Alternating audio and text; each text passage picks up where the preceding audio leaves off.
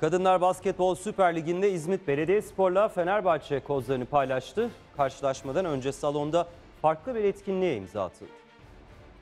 3, 2, 1,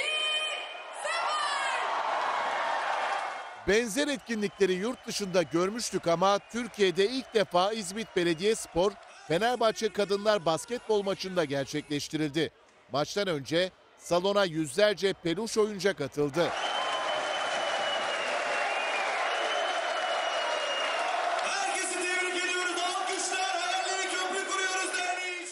Projenin sahibi İzmit Belediyesi ve Hayallere Köprü Kuruyoruz Derneği.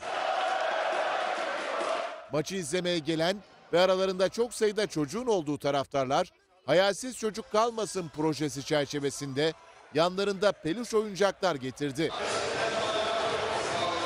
İzmit Belediyespor oyuncularının ellerinde de tıpkı taraftarlar gibi peluş oyuncaklar vardı.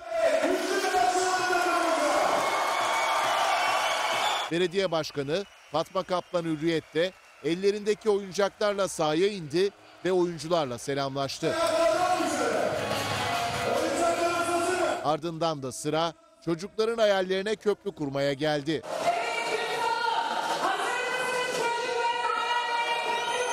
Ve geri sayım başladı. Oyuncaklar sahaya atıldı. Toplanan yüzlerce oyuncak bölgedeki 41 köy okuluna ulaştırılarak öğrencilere dağıtılacak.